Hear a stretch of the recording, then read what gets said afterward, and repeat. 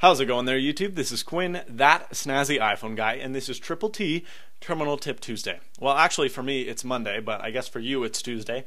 And the reason I upload videos on Tuesday, and the reason I've done Terminal Tip Tuesday, is because Tuesday is a very busy day for me in the week. I have lots of music lessons and a bunch of other stuff, and I can't really do a full on hands on review, because that takes a lot more work than just throwing up a camera, throwing down this, and then I lace them together and upload it.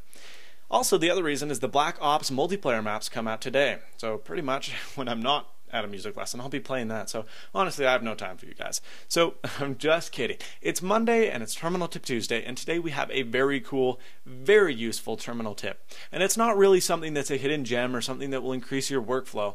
Rather, it is something that fixes what Apple hasn't for years. Now, if you run Snow Leopard, you may have noticed that there's a bunch of other applications rather than just iTunes that uses the hotkeys above F7, F8, and F9. They're the backwards key, the forward key, and the play key.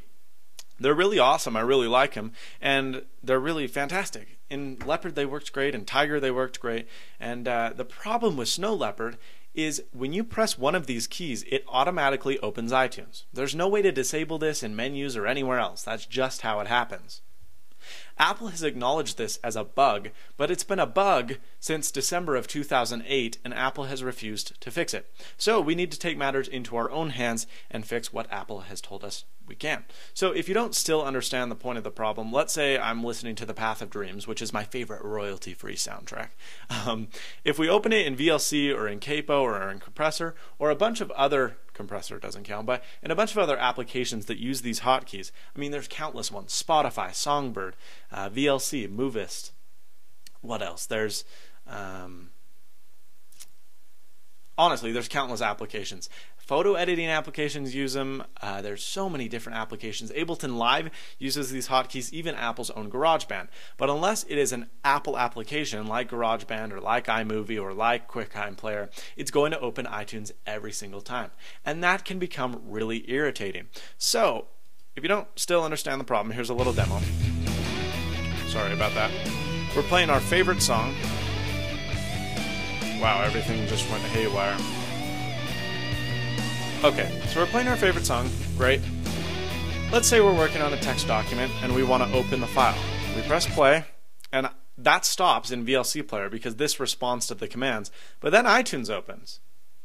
We don't want iTunes open because then when we press play again to resume our song in VLC, iTunes is going to start as well.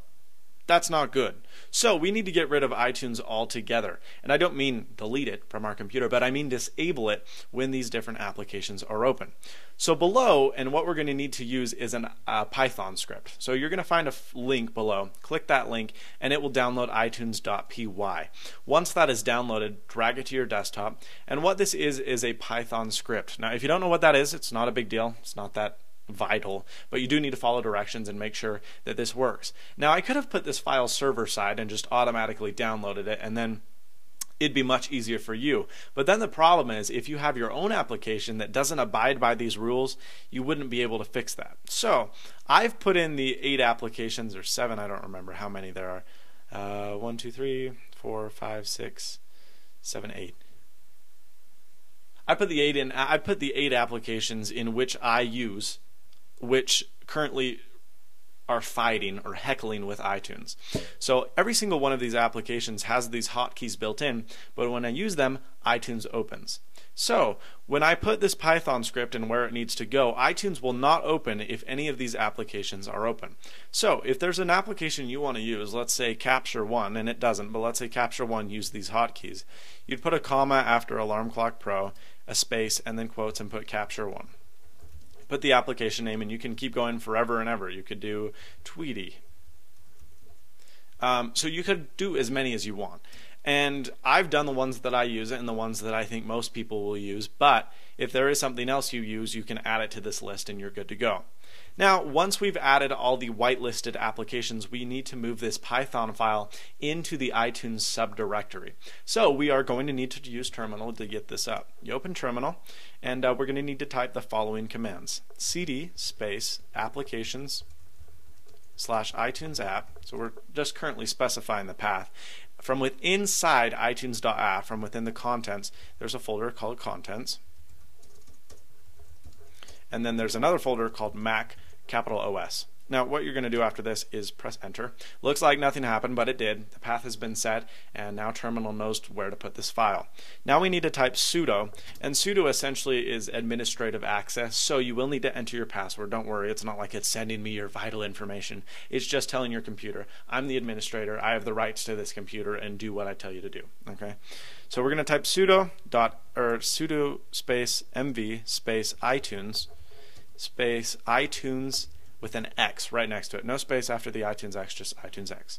You're going to press enter, and now it prompts you for your administrative password. You need to type it correctly, and I don't believe that I did. Oh, I did. I'm good.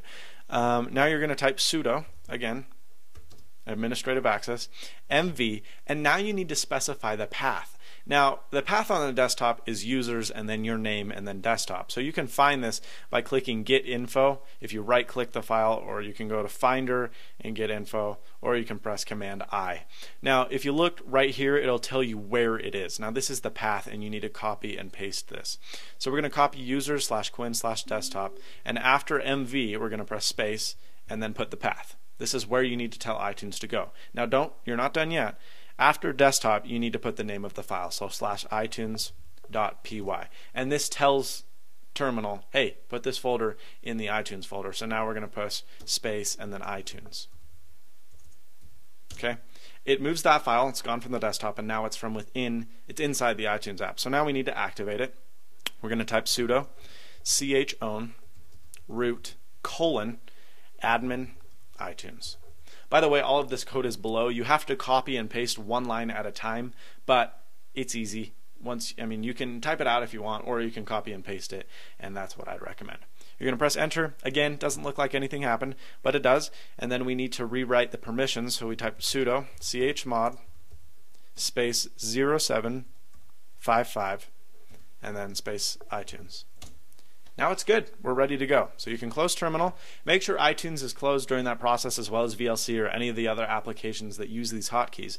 Now you'll notice when we have our song open in VLC, we can press the pause button and iTunes tries to open, but it won't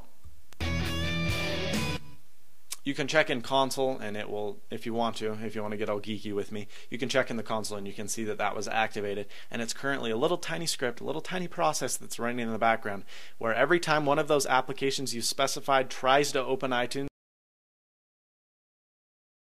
now, some of you may experience this error and you shouldn't, but if you do, it's not a big deal. The error or the problem that would happen was you would have rewritten over the top of an incorrect plist file, or you would have rewritten the permissions incorrectly.